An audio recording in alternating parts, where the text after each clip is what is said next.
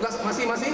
Oke, lanjut. BNMC atau Bina Nusantara Mandarin Club mengadakan Mooncake Festival. Acara ini diadakan di Pluit Village pada tanggal 15 sampai 19 September 2013. Acara ini terdiri dari serangkaian acara dimulai dari bazar, performance, dan masih banyak lagi.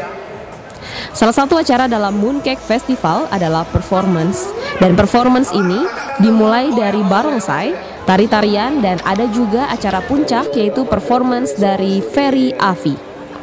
Di akhir acara juga ada pembagian door prize untuk beberapa pengunjung. Acara Mooncake Festival juga berlanjut pada tanggal 7 sampai 12 Oktober 2013 bertempat di kampus Anggrek.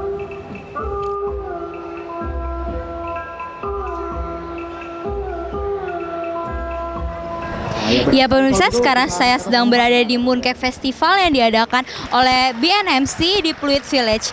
Mereka mengadakan acara Mooncake Festival pada tanggal 15 sampai 21 September 2013 bertempat di Pluit Village. Di sini ada berbagai ma- berbagai macam stand yang ada dan ada berbagai macam kompetisi.